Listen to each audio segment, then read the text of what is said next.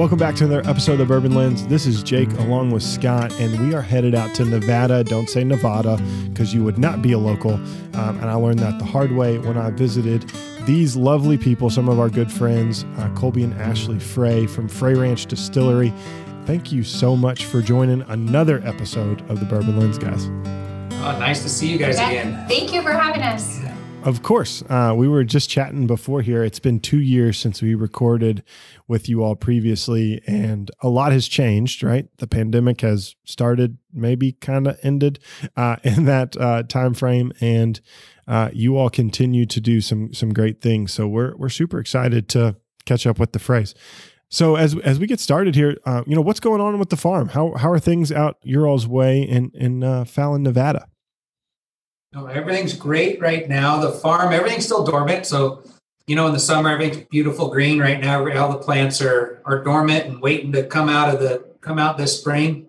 Uh, but right now, we're getting ground ready to plant corn, um, which we'll plant around May 10th, which is kind of the magic day around here to plant corn. If you plant it too early, you have a problem of frost. If you plant it too late, you have a problem of not having enough days in the, the growing season to for that corn to mature. And so we're prepping for that right now Yeah, we had a really nice winter. So the Sierra Nevada mountains just got hit so hard with so much snow in December. I think it was like the most snowfall they've ever gotten um, on record in a December yeah. was It in was- 2021. We, so Yeah, we actually happened to be in Tahoe during that snow apocalypse thing. I mean, it was crazy. We couldn't even get out of the house. Um, we think were they- snow, literally snowed in for a couple Yeah. days. Like the roads just had like three feet of snow on them. They weren't plowed, and it was I think they called it a bomb cyclone. yeah, it was nuts. So, anyways, we have a, a really nice snowpack that's going to feed all of our irrigation all summer long. So, Oh, nice. as farmers, that makes us very happy. Yeah. Yeah, no, that's exciting. So, so corn goes in May 10th. What about your rye and your winter wheat and your uh, your other things? Are, have have you harvested those already? Or are those getting ready to to be harvested? No, so we plant those in the fall, and usually we harvest those, and it depends on the summer, but usually around August, Mm. um, sometimes like late July, but usually in August we'll harvest those. So they're all growing right now. They're actually really pretty green, right? Because they're all winter wheat, winter rye, and winter barley, and so um, they're doing really well, and they're planted and just just waiting to get some irrigation water and some sunlight here coming up, some heat heat days, hot days. Yeah, no, that that's exciting. Like I know in Kentucky, we're we're used to seeing rows and rows and rows and rows. How many more rows of corn? uh, Yeah. uh, you know, that it's it's about that time to see them all pop up around around the state, and and no plot of land is too small for corn in Kentucky.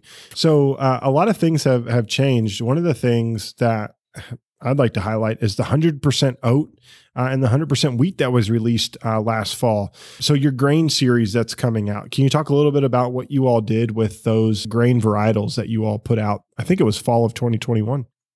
for us it's really important to highlight the grains that we grow here on the farm so like a lot of people ask are we gonna are we ever gonna do like a secondary aged barrel whiskey like a wine barrel or a sherry cask or anything like that for us instead of doing that we play around with mash bills and so we did 100% oat we did 100% wheat we actually have a 100% corn 100% barley uh, we have a 100% malted barley and then our rye which we always have is 100% rye that we also is available too right now but uh, it's so that you can really truly taste what the grains taste like. And if we put any other grains with them, you'd always wonder what flavor is being contributed by which grain. And so by having 100% oat and 100% wheat, you know, you really you know what you're drinking, and you can really tell and take in what that grain is is truly tasting like. And so we have our single grain series. So eventually, right now we have 100% oat and 100% wheat, but eventually we'll also have the 100% corn and malted barley and, and those other grains. The oat and the wheat are super fun and they're just so drastically different. So the oat's going to be really earthy. You get a lot of taste of like peanuts and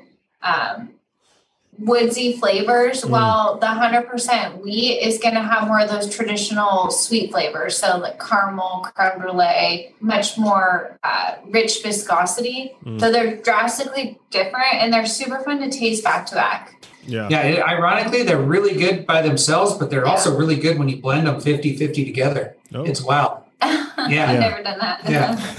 And those came out in 375, so they were a little smaller, right? They weren't the the traditional 750s because obviously you're playing around being experimental. Yeah, we only had two barrels of the oat whiskey, and we only ended up with 900, 900 375 bottles. So, not a lot of the oat whiskey, and it just doesn't yield a lot in the distillery. Where a normal batch of bourbon gives us 11 barrels, Mm. the same batch, I guess, Of per, oak? of Yeah. oat would give us about two barrels. Oh wow. Yeah, so oats themselves, like the grain is 60% hulls, which is like the protective coating around the grain itself, you know, and then what we're looking for in the distillery is starch. And oats don't have a lot of starch to begin with. And so it's like it, it's both of those are are really de, you know detracting from the amount that we get per per barrel or per batch or per batch, I guess, barrels per batch. And so um, that's why we decided to put them in in 375s is because we wanted to have more bottles we put a bottle limit when we sell them in the tasting room so we can just get them to more people and Yeah. and not just sell them all out in a in 12 minutes like we do some of our single barrels and everything No, that that's awesome. I was I was super lucky enough to actually coming out and meet you all this year or last year, I guess. And we we sampled some of those those whiskeys. And I know the experimental series, as you mentioned, the malt series that that may be coming out. There's some there's some funky stuff, but it, it is extremely extremely good. And I think people should be really jumping at, at the opportunity to get one of those if they if they get a chance to when they come out. I, I'm assuming maybe in 2022. yeah Yeah. yeah towards We- 2022 and maybe the, the end of 2022 and then some in 2023 Yeah, exactly. So that's exciting. Speaking of of of barrels, right? We were lucky enough to pick a barrel with you all, right? You all were super nice to say, "Hey, you all made the short list." We're super grateful for that. You all are like part of the Bourbon Lens family at this point, I feel like, and I hope likewise to the Frey Ranch family. And so we were we jumped at the opportunity and we we tried barrels um, in December. It was actually the week of Christmas, and um, you all were talking about going to Tahoe at that point. So this was right, right all in the middle of, of how Yeah, the story right, started. and you all have the finished product in front of us. I don't, do. uh, and Scott doesn't. We're we're, we're uh, waiting uh, for that to, to transfer over, but we have remnants of what we tasted back then. So can you talk a little bit about what you are doing with the single barrel program and maybe what your all's thoughts on what the finished product may be as this podcast will drop the week these barrels come out more than likely.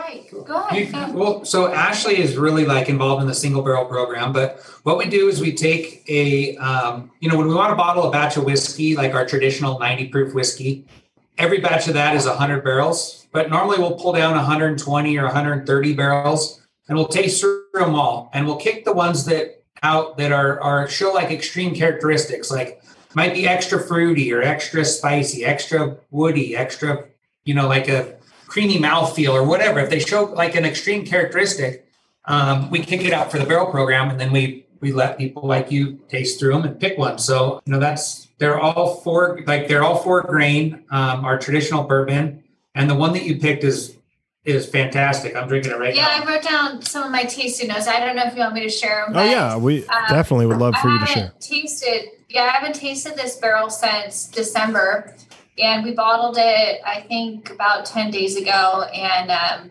pulled a bottle out for today, and it's phenomenal. I'm so excited about it. I forget kind of what each barrel tastes like and why we fell in love with that original barrel, but. Um, as soon as I poured this one, I it was brought back immediately. Like amazing, really rich viscosity. I'm picking up some waffle cone, peanut brittle, whoppers, and then a nice like candied fruit on the finish. So mm, Yeah. And and it's so funny because we all talked about this and we had a, a long debate and Ashley kind of mic dropped when we picked the barrel.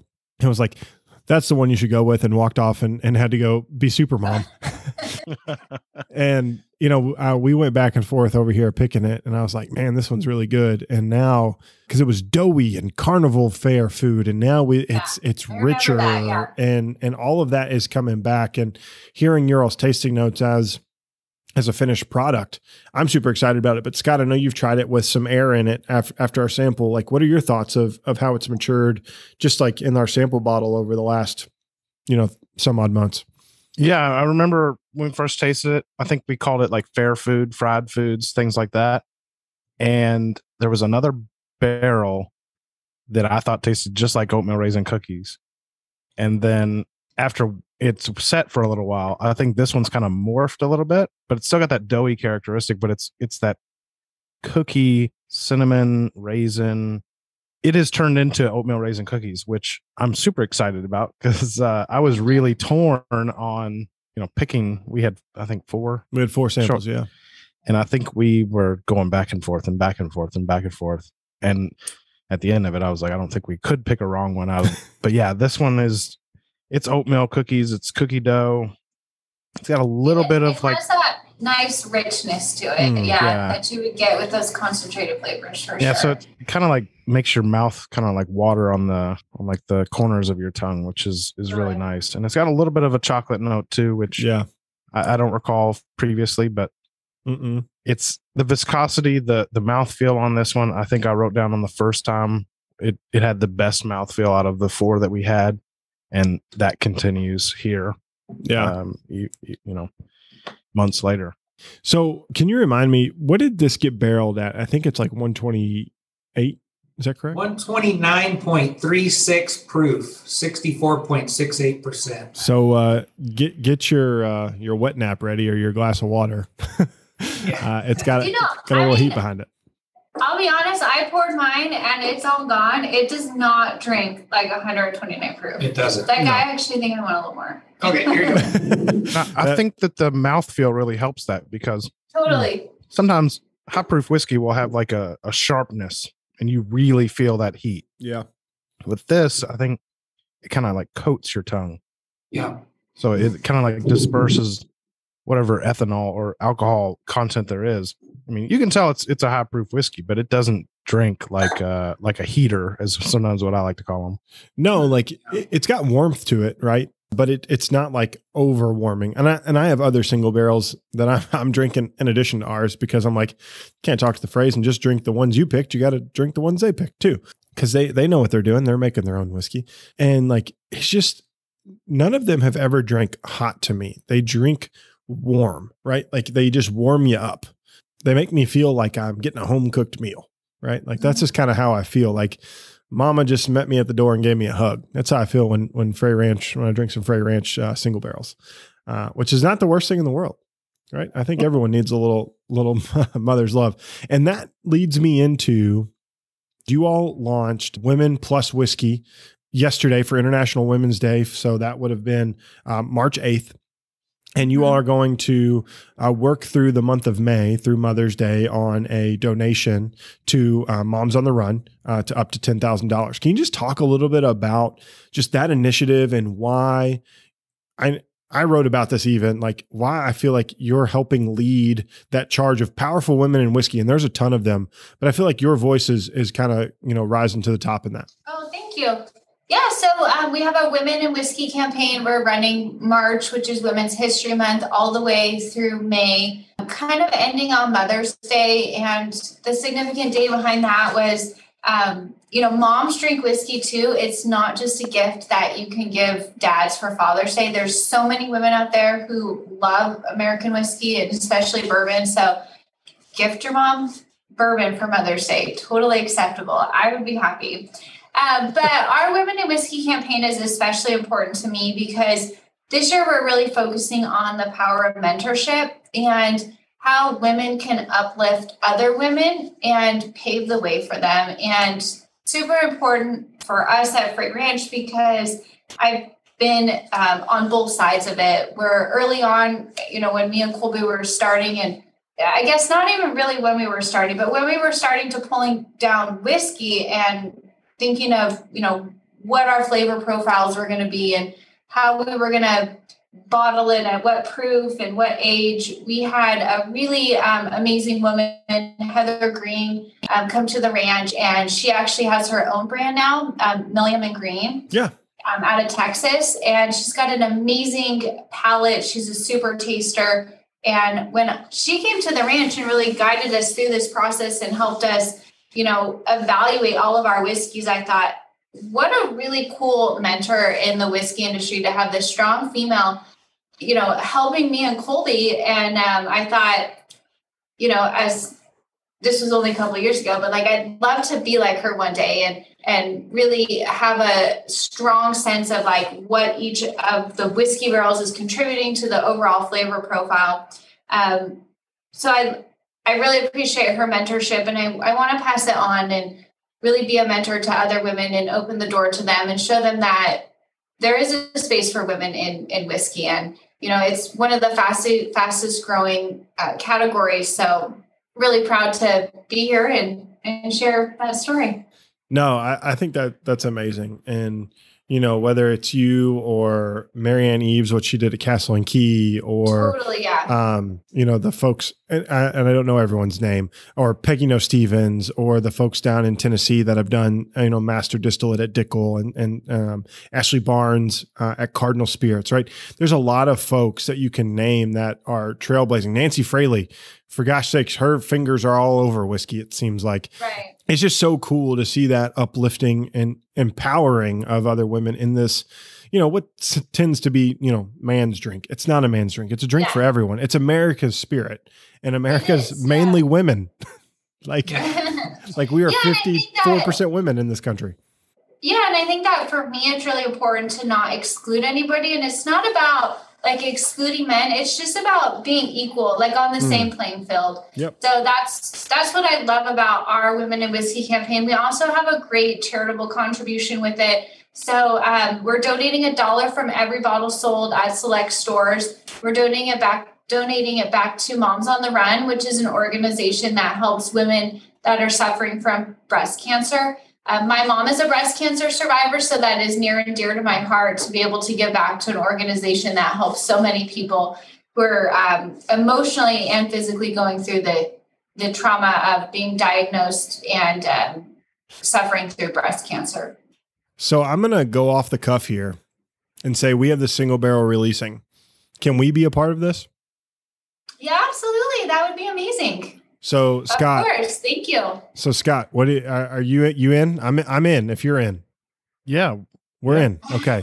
So we we are in for in. for uh, a dollar a bottle for our our yeah. bourbon lens pick.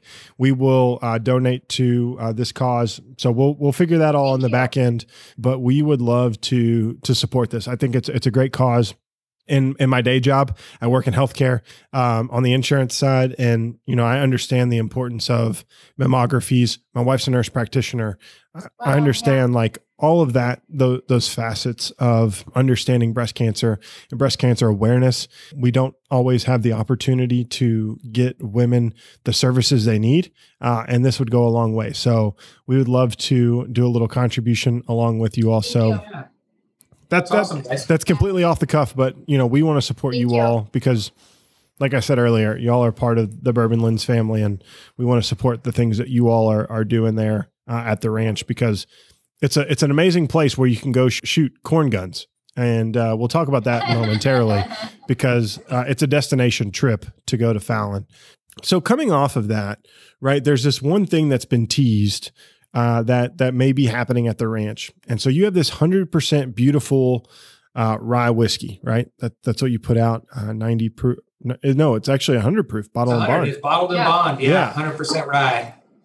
And there's been this tease that there could be a barrel proof version of that. Can you put any any words to uh, is that is that in the works for Frey Ranch?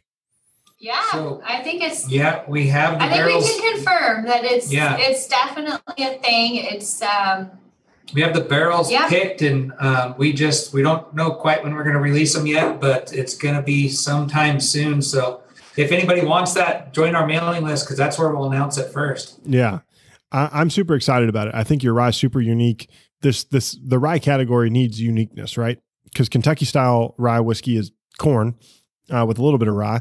And then you have 95.5 Indiana style rye, because that's a category now.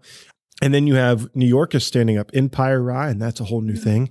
And then you have Pennsylvania rye.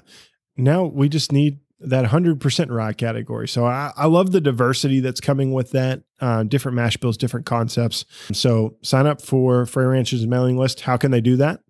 So you can go to our website, freyranch.com. Um, you can join the email list via the pop up on our homepage. There we go. And we promise not to spam you. We really only try, send emails when we have something fun or important to announce. So it'll be worth it.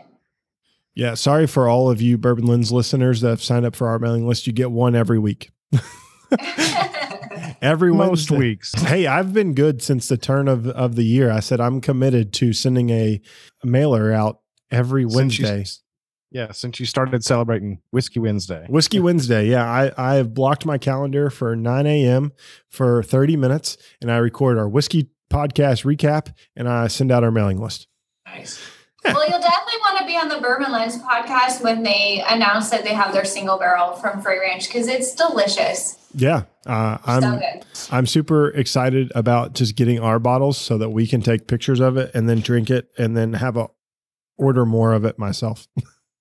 Because I know I know Scott and I will probably order a few of these uh, for yeah, backups. always, always order a couple extra, but I think this one will probably be more like a few. Yeah. And my bar back is is becoming just Bourbon Lens picks. So like everything that may be fancy is just going away. And it's just like anything that we've picked is is now going like up on top of the shelf. So I'm like, guys, this is house bourbon now. our house whiskey, whatever it is. Yeah, you get uh you get our stuff. Um, so that that's exciting. So we're we're really close to this, and it, my mouth is watering on on getting our pick now that Ashley and Colby have talked about it. Um, so what what do you have going on at the distillery over the next few months, other than planting corn? Is there any any cool activities happening in Fallon, or or are you all just really getting ready for crop season?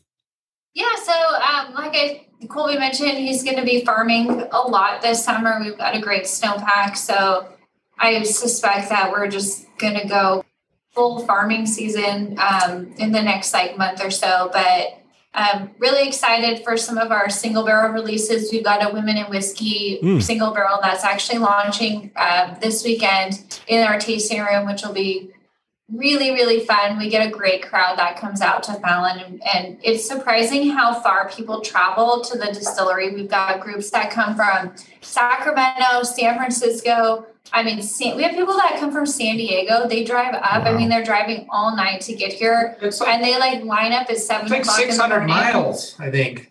yeah. Like, it's wild. and those are, I mean, Jake knows this, but we live on property. So I like get up in the morning and I look out the window and I'm like, there's already a line. You know? 6.30 in the morning, there's people here. standing there. and We don't open until 12. Yeah. Yeah, Can they come Well, for we- breakfast? we- Yeah. yeah.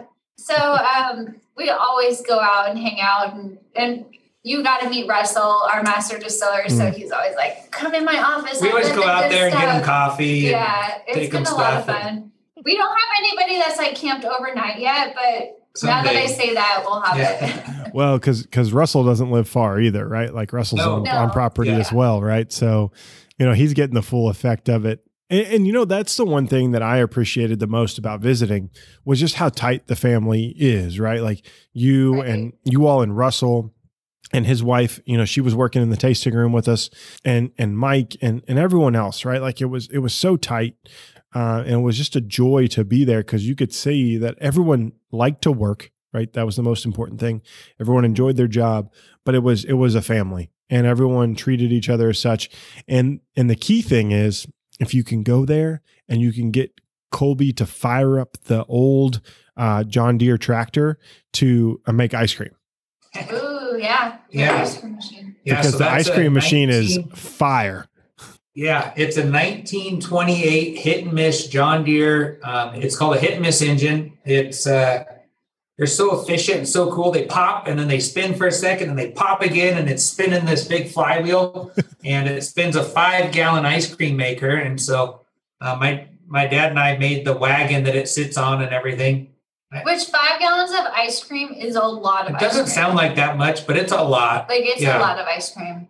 It's entirely way too much for one day, but we're used to it. We Yeah. we've got like cartons. It's we really good later. our Put it in the freezer. It lasts Oh. a long Yeah. time. It's super cool. I mean, and then you all had some uh, bourbon caramel So uh, good, drizzle yeah. that was like to die for. So yeah. I'm and and Scott, this isn't talking about food and like the fact that I'm hungry. It's the food, the fact that I I went there and they gave us this amazing ice cream, and I, you know, got to talk about it because Well, I'm just, I'm just, I've told you this since you went, but I'm still very, very jealous that you went and I didn't. But uh Well, Yeah, so maybe, maybe next time. So that Yeah. that's the thing. Yeah. The the Bourbon Lens has to uh, make a trip out to to Fallon because Reno's a lot of fun too, and it's it's Yeah. not too far away, and it's a beautiful drive. That that was the one thing that kind of not surprised me, um, but like going into northern Nevada where you all are, it's a beautiful countryside going up there to your all's farm, which which I thought was nice, and you know only about an hour and a half drive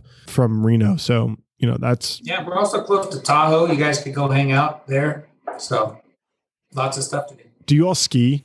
Are you skiers or snowboarders? So I used to be, and then last year I went skiing a little bit, and then I haven't been this year. It's just I never have time, but I, I want to go, and I always think like maybe next weekend, and then it doesn't work out. Maybe next weekend, and then I've asked actually like two or three times this year, can we go next weekend? And she'll remind me we have something to do and can't go or something happens. Yeah. So Our kids are at the age where we do more sledding than skiing, Mm. which is super fun too. But yeah, I want to get back on the slopes. It would be super fun. Yeah. And with the like epic snowstorm and snowpack we have this year, it's a shame. well, there's we so much snow that all the ski resorts shut down. Yeah. I mean, nobody could get to them. You know, Yeah. it was wild. Well, I got an itch to try it because I was in Park City not too long ago and I saw like people snowboarding and skiing and I'm like if if I'm going to do it, I should do it here. But then I'm like those are probably like terrible l- slopes to learn on. I've never skied in my life and I feel like I would die. Uh, big man fall hard. That's kind of the the uh, thought process. And and you all know, like I'm I'm not a small person, so that's the only thing holding me back from skiing is the fact that I, I think if if I fell, I might break something. If you come up here, I'll take you, and it'll we'll, I'll be easy on you. Uh, Dad, we were at um, North Star, I guess back in like June, maybe December, and they had the the whiskey bar, and it was like literally a ski up whis- whiskey bar. oh, nice. So that's that's what you need. Yeah, That's it was an really- airstream that that had hot toddies and and straight whiskey, whatever you know. Yeah, It was. See, cool. I would just I would just need to get there and then I would Exactly, ju- I would just be committed to staying there. and that would be my excuse for not skiing. So Maybe if you That's ride up I the said. chairlift, ha- ride down on your sled to the whiskey bar, hang out there. the and then- whiskey bar. Yeah, I mean, I mean that's that's perfect branding for Frey Ranch. right. Yeah. I mean, I know. I, I'm just saying, like so- I, I'm was not a marketing person. I'm in sales though. Like that just screams sales. What's cool is some of that water that they they're skiing on the snow is what comes down eventually makes its way down to the farm that we irrigate our crops with. So like you you're literally skiing on future whiskey in a certain way. You So- know what I mean? So that's my question. Like, as I know, like how sustainable you all are, right? Like, your all's leftover mash goes to the farm that like gets the manure that you know feeds your field. How far is that snowpack from the actual ranch? You know, that's a good question. I don't know about like the meandering river and how long it is directly, but it's probably about 80 miles. Okay. And so there's a river, and there's two rivers that flow. So the um, the Truckee and the Carson rivers, they both originate on both sides of Lake Tahoe. Mm. The Truckee River actually gets water from Lake Tahoe, and it goes to Lahontan Reservoir, reservoir, and that's where we get all of our water that flows from. It's all gravity, Yeah. and so that's why we're not consuming a lot of electricity. Like a lot of um, farms in Nevada, especially, have to use deep wells and a lot of electricity, and you know we're we're really fortunate. Everything's all gravity and really efficient. Well, and and that's a whole other thing. Like I thought was really interesting that we won't get into in this podcast, but like I would love at one point to nerd out about the sustainability of your all's farm because we were literally like in the still house talking about sustainability for 45 50 minutes. Like and and God love Mark Gillespie, right? Because WhiskyCast is amazing and he does great things. But like that man asked some really good questions. You could tell he was in media for a long time. But like we talked about sustainability in your all's farm, literally from the time we started with the still to the time we left the fermenters. Um, and that that was the the beauty of it is how self-sustaining it is. Um, so next podcast, when we keep up with the Freys again, uh, we'll talk about the sustainability of the farm, and and hopefully, Scott, it's when we're in Fallon. Yeah, I, I, I love it. That's a great idea. Yeah. And that's what we do. We call it common sense sustainability. We do it because it's the right thing to do, not because it's the trendy thing to do. And then it just ties into our bottle. At the bottom of every one of our bottles, I'm, I'm pretty sure you guys noticed it says "Be good to the land, Yep. and the land will be good to you." And it's like our it's our foundation as a farm. If we don't take really good care of the farm, we don't take really good care of our environment and our natural resources, then we don't have a future as farmers. So it's really important for us to to take good care of it and pass it on to our kids in as good or better condition than we received it in. Yeah. And and I think that's pretty amazing. And I, I was just looking at the bottle because the bottle is like you all have maybe the heaviest bottle in whiskey, first of all, but one of the most beautiful bottles in whiskey. Yeah, it definitely is. Uh, That was all Ashley. yes, I, I worked with the design team on it, and I will tell you, it probably took about a year from like initial ideas to the actual finished product, maybe even a little longer. And I say what was so important to me and Colby was that every little aspect of the design tied back to us on the farm. So Mhm.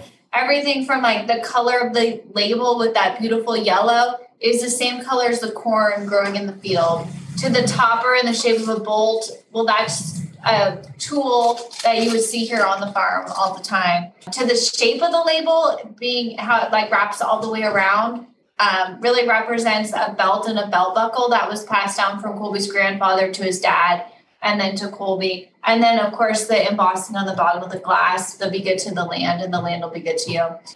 It was a lot of work, but I'm so happy with the way it turned out. I know that when me and Colby saw the the glass come off the bottling line, and we had it done in Mexico City, Mm. it was an absolute were- like yeah, it was- treat to to be down there and and see like the first bottles come off the. It took The us bottom 24 hours to get there. We got off the plane. They took us right to the bottling plant. We hadn't slept in like 24 hours plus, but we were like so excited and wide Yeah, awake because it was yeah. so cool, you know? Yeah. Like it is one of my favorite bottles of whiskey. Uh, Scott, I know you've said it from the time you first saw this bottle, like you absolutely fell in love with it. Yeah, very, very early in the podcast. When Yeah. this bottle showed up, I was like, holy cow. It was your it was your first release. It was yeah, batch one. Yeah, and first. now and now you see it everywhere and it's just like part part of it is because it's so damn attractive the, the second part is because it's so damn good Yeah. so it's like you want to have a bottle on your bar no matter what yeah. so I love Yeah. the vibrant colors. I think um, for me and Colby, it was just as much about like looking at what we've done on the farm as you know just a nod to the past. And you look at a lot of bottles, and they kind of go with those sepia tones. And you know, for us, we wanted something that popped and really represented like the modern take on farming and agriculture. Because Mm. When you look at the farming aspects of laser leveling your fields and the flood irrigation techniques that Colby uses, that's so important to that common sense sustainability in our overall story that we wanted to like look forward and not not back. Yeah. Yeah. We do a lot of things like we, we do things like my grandpa, that May 10th corn planting date that we were talking about. Um, that's something my grandpa figured out and we still abide by this day. That's, you know, that's something we do old, but then we do, we try to take what's available to us today and improve on that, you know? Yeah. You know, like being out there, like I didn't realize how much land like that you all are actually farming. Like there's just because there's so much more than just whiskey, right? Like you were like, that's an alfalfa field and that's a X field and that's a Y field. And you're like, holy crap. And then we like are picking off like corn and like chucking it at each other like we're a bunch of teenagers. Um and that was that was a funny thing and all in itself. It just brought back so many memories of of being out there. And like as a kid, like I shucked corn with my grandfather. And like being out there and like playing around the corn with Susanna and some other the folks like Clay. And it's like, you know, that was like my childhood, like that slash punishment was I had to shuck corn and like pick green beans. Like those are things that I, I just think about and like it just it brings back memories, right? And it and it just brings back to, you know, you're saying like be good to the land and, and the land will be good back to you. And ultimately you produce a really damn good whiskey off of that. And It's a lot yeah, it's a lot of fun to watch the crops grow and then, you know, kind of nurture them through that growing process, harvest them, watch them go in the silos and know that like you are part of that whole process and that none of those ingredients have ever left our possession. um, until you know we send like your single barrel to you, and that that means a lot to me and Colby because it's a piece of our life and it's a piece of who we are ultimately and something that we're really proud of. That's why it's so fun and meaningful for us to, you know, have a product. Like we we we put away all this whiskey. We waited for five plus Mhm. years till we bottled it or sold any of it. And um, for us to like finally be able to share it with everybody and to drink it with people and Mhm. you know do these barrel picks. It's so so um, Rewarding. Rewarding really for us. Yeah. Yeah. I, I'm I'm so excited after talking to you all for the last 37 minutes, plus whatever we talked about beforehand, to get our our barrel like and our bottles in hand. Scott, I don't know about you, but like I'm like I'm itching. Like I got like a rash and I I need more cowbell. I got a fever and I need more cowbell. No, I'm just I'm super excited just to see. I mean, the last time you guys were on the podcast, almost two years ago now, we were in- introduced to your product like two and a half years ago, and now we're gonna have a single barrel. Um, that's just exciting to me. Yeah. Yeah. like I, and I and I truly mean this like it it's so cool to grow with your brands you've worked with from the beginning like and that's that's the cool thing because we know how many people have like sought after Frey Ranch because us or whomever has talked about it. And they're like this is really good whiskey. You need to find it. And on the east coast unless you like have figured out how to do it online like you don't have it. And so like to mm-hmm. be able to bring a great representation of your whiskey to our listenership like that gets me excited because i know that people will fall in love with the frey ranch that we fell in love with two plus years ago and Yeah. and and that gets me like excited because i want people to drink other stuff right like there's great whiskey in kentucky but guess what there's some really good whiskey made in fallon nevada Oh, thank you. Yeah, thank you. Yeah, that means a lot, and I, we appreciate you for for you know right at the beginning you guys taking were us one on. of our and- first yeah, podcasts that we ever did. So to be able to, uh, I don't even think we had a barrel program when we did. no, the we first, didn't. No, we weren't even close. I don't even think we had a rye at that time. Yeah, so it's. I mean, no you had a you had a small so had batch bourbon yeah, Yeah, yeah. Just the So bourbon. It's, full circle, and it's super. I cannot wait for you guys to get your barrel. yeah We're honored to do that with you guys. Yeah, no, it, it's so great. Now I uh, need to figure out how I can buy one of those hoodies that you have on, Colby. Oh yeah, just send me your your address and your size. Because uh, uh, that the hat unfortunately doesn't fit my giant head. he needs a big guy hat. Yeah, I- Yeah. I, need I need to to like get my head measured uh, for like Guinness Book of World Record. uh, I no, don't know. The Freys have some pretty big heads. yeah. So- Mine, I, am still. I'm only. I'm still got two. But no, I, mine's not I'm. I'm on one. When I put that thing My- on, I'm on a one. Yeah, my my daddy, he can't even button it, and it's like not even like if it had two more, I don't even think it would fit. I heard there's a hat company that's made for big-headed individuals. So, Huh. We're gonna have to look Jake- into that. Yeah. Jake, I think we need to track that down because I, I saw it on YouTube. I think uh, somebody had an ad. I guess somebody had a big head, and uh, so Somebody you got go. really smart with their money. XL hats. Yeah. So as we wrap up tonight, it's been a great pleasure to have you and Colby on because I'm speaking to Ashley in particular because she's the brains of this operation. I know Colby, you're the hands on. Obviously, You know, I just want to make sure the listeners know where they can find out more information about you all because I know Ashley, you put a lot of work into social media, so I don't want people to miss out on that. So where can people connect with you all? You can find us on Instagram, Facebook, um, our website, freyranch.com. Follow us on all of our social channels, join our email list. We are constantly putting out a ton of content and we do a really good job on our marketing team of really telling our story on our, our social media. So you're going to get that behind the scenes look of day to day life on the farm. And then you'll get that firsthand look of any single barrel releases or any new releases on our email list. Yeah. Well, everyone, make sure you go sign up for that because you need to. And everyone, make sure you sign up for the Bourbon Lens mailing list because the Frey Ranch pick is coming soon. And if you don't do that, you're going to miss out. So thanks everybody for listening to another episode of the Bourbon Lens. We really appreciate it if you would like, rate us, give us a five star review on your favorite podcast listening app. Please make sure you follow us on Instagram, Twitter, and Facebook and TikTok at Bourbon Lens. And last but not least, uh, check out patreon.com backslash bourbon lens for exclusive tasting opportunities, potentially with the Freys, as well as early barrel pick opportunities as we release those and exclusive content. And until next time, cheers. Cheers, guys. Cheers, everybody. Bye.